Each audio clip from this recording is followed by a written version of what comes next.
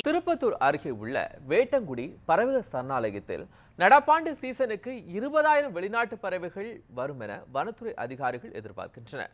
இத்தொடர்பான கூடுதல் தகவல்களை நம்முடைய செய்தியா பாலமுருகனிடம் கேட்கலாம்.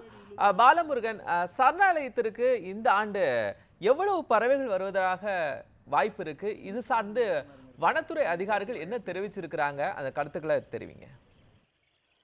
வணக்கம் கோபால். சிவகங்கை மாவட்டம் திருப்பத்தூர் அருகே உள்ள வேட்டங்குடி பறவைகள் சரணாலயம் சுமார் நாற்பது ஏக்கர் பரப்பளவில் அமைந்துள்ளது.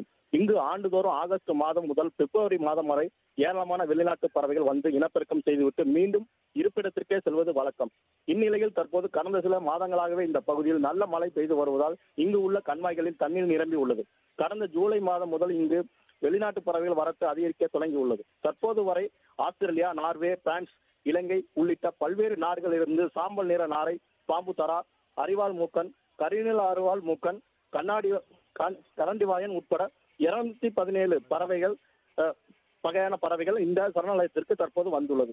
தற்போது முட்டையிட தொடங்கியுள்ள பறவைகள் வரும் டிசம்பர் மாதம் இவை இனப்பெருக்கம் செய்துவிட்டு குஞ்சியோடு வெளிநாடுகளுக்கு செல்லும். இந்த பகுதியில் குளிர்ச்சியான சூழல் நிலவி வருவதால் இந்த ஆண்டு சுமார் இருபதாயிரம் பறவைகள் இங்கு இனப்பெருக்கம் செய்யும் என வனத்துறை அதிகாரிகள் நம்பிக்கை தெரிவித்துள்ளனர். பறவைகள் இடும் முட்டைகளை குரங்குகளிடம் இருந்து பாதுகாக்க வனத்துறை சார்பில் தீவிரமாக கண்காணிக்கப்பட்டு வருகிறது கோபால். பாலமுருகன் வேட்டங்குடி பறவைகள் சரணாலயத்திற்கு இந்த ஆண்டு சீசனுக்கு எவ்வளவு பறவைகள் வரும்? சார்ந்து வனத்துறை அதிகாரிகள் தெரிவித்த பல்வேறு தகவல்களை பதிவு செய்தீங்க. உங்களுடைய தகவல்களுக்கு நன்றி பாலமுருகன்.